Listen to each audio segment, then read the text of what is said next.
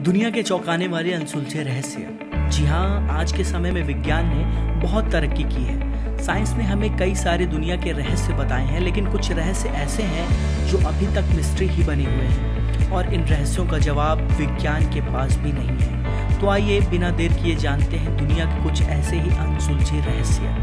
Number one, तैरते पत्थरों का रहस्य। जी हाँ हिंदू पौराणिक कथाओं में बताया गया है कि श्री राम ने अपनी पत्नी सीता को रावण से बचाने के लिए श्रीलंका पहुँचने के लिए एक फ्लोटिंग पुल का निर्माण करवाया था।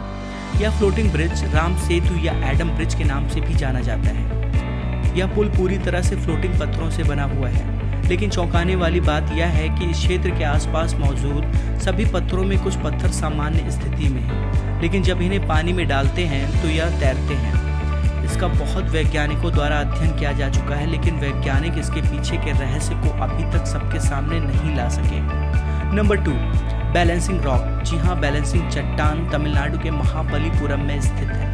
महाबलीपुरम में एक विशाल चट्टान की तीव्र ढलान पर एक पत्थर रखा हुआ है, जिसे देखने पर यह लगता है कि यह पत्थर कभी भी लुढ़क सकता है। इस चट्टान के 20 फुट ऊपर होने का अनुमान भी है।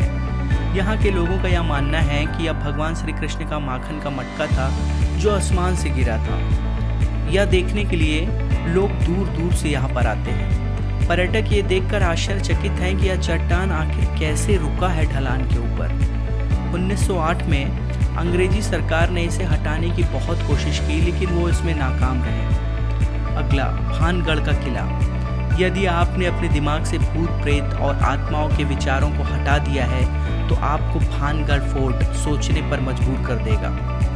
यह राजस्थान के अलवर में स्थित है। यहाँ के लोगों और पर्यटकों द्वारा यह भी बताया गया है कि यहाँ पर कुछ संदिग्ध घटनाएँ हुई हैं। यह किला सुंदर वास्तुकला, हवेली, मंदिर, खंडहर जैसे चीज़ों से सजा हुआ है। यहाँ लोगों के लिए देखने के लिए ये खंड, ये किला खुला भी है और इन, और कई पर्यटकों ने यहाँ, यह भी स्वीकार किया कि उन्हें आत्मा की आहट सुनने को मिलती है।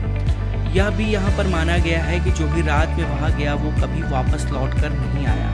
भारतीय पुरातत्व विभाग ने यहाँ पर एक चेतावनी का बोर्ड भी लगाया है, जिस पर साफ़ साफ़ लिखा है कि सूर्यास्त के बाद और सूर्योदय से पहले इस किले में जाना मना है। अगला, द डांसिंग प्लेग।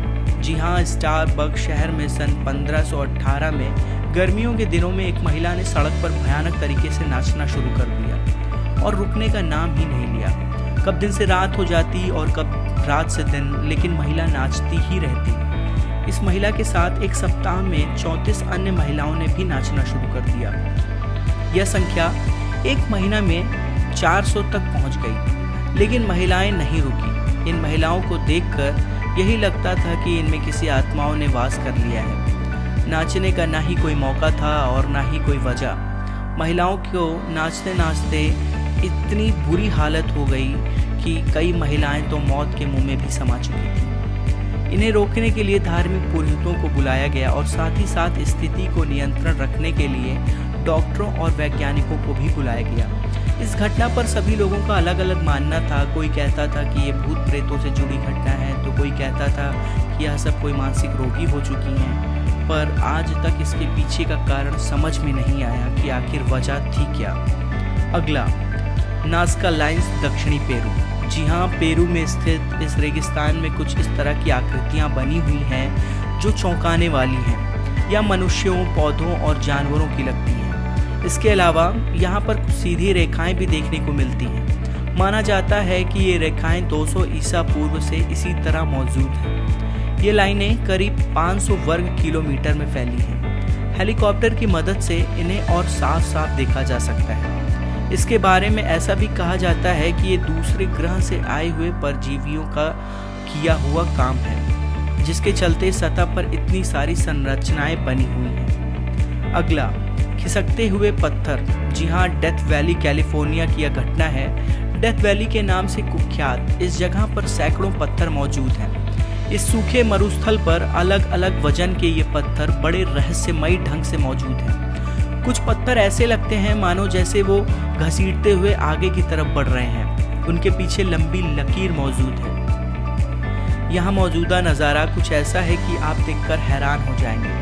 किसी इंसान या जानवर के ज़रिए इन पत्थरों को घसीटने के सबूत नज़र नहीं आते, क्योंकि वहाँ मौजूद मिट्टी को बिना छेड़छाड़ किए ही ये पत्थर आगे की तरफ़ घसीटते, आगे की तरफ़ बढ़ते चले जा रहे हैं। कुछ लोगों का ऐसा मानना है कि भौगोलिक बदलाव या तूफ़ान के चलते पत्थर के साथ ऐसा कुछ हो रहा है। अगला, क्लियोपाट्रा रानी की मौत का रहस्य। जी हाँ मिश्र की रानी क्लियोपाट्रा की मौत सिर्फ़ 38 साल की उम्र में ही हो गई थी। यह रानी बहुत ही खूबसूरत और आकर्षक महिला थी। इस रानी की मौत कैसे हुई, इसका अभी तक किसी को भी सही तरीके से इस कहानी को नहीं पता। कई लोगों का मानना है कि रानी ने अपने खुद को, अपने आप को खुद को सांपों से डसवा लिया। तो किसी का मानना है कि अगस्तस ने क्लियोपाट्रा की हत्या कर दी थी। अगला, जैक द रिपर। जी हाँ लंदन में रहने वाले इस व्यक्ति के बारे में अभी तक कोई सही से नहीं बता पाया। इसे लंदन में सीरियल किलर के रूप में जाना जाता है। ये एक रहस्यमयी शख्सियत है। जैक ने पूर्वी लंदन में पाँच महिलाओं का बहुत ही बेरहमी से हत्या कर दिया था। हैरत करने वाली बात यह है कि इसकी शक्ल कोई नहीं बता पाया कि ये कैसा दिखता है। या अभी तक रहस्य ही बना हुआ है कि जैक द रिपर कैसा दिखता था, वो उसकी हाइट कितनी थी। जैक द रिपर से प्रेरित होकर कई फ़िल्में भी बनी हुई हैं और इस पर कई सारी किताबें भी लिखी हुई हैं। लेकिन यह अभी तक रहस्य है कि कि जैक द रिपर आखिर था कौन। अगला द डेविल फ़ूड प्रिंट्स जी हाँ पश्चिम दक्षिणी पश्चिम इंग्लैंड के डेवोन में 19वीं सदी में करीब 400 मील तक जमे बर्फ़ पर एक अजीबो गरीब निशान देखे गए थे। यह अब तक रहस्य है। विशेषज्ञों द्वारा ये बताया गया है कि ये निशान कंगारुओं के पैर का भी हो सकता है, या फिर कोई दानों यहाँ से गुजरे होंगे। कारण चाहे जो भी हो, यह अब तक सिर्फ़ एक रहस्य ही बना हुआ है।